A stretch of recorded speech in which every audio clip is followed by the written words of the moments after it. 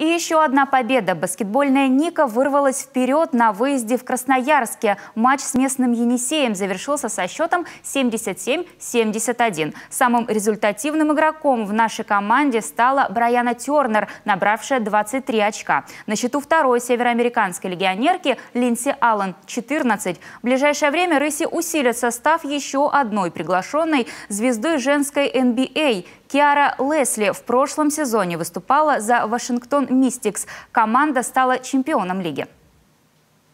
Hey everyone, I'm Kiara. I'll be playing for Nika. Привет, я Киара, игрок клуба «Ника». Это Сыктывкар. Я хочу лично увидеть президента клуба Руслана Семенюка. По его приглашению я стала игроком «Ники». После трудной победы в Красноярске Ника закрепилась на третьем месте в премьер-лиге России. Выше только УГМК и Курская «Динамо». Следующий матч сыктывкарская команда проведет также на выезде. 20 декабря играем с клубом «Надежда» из Оренбургской области.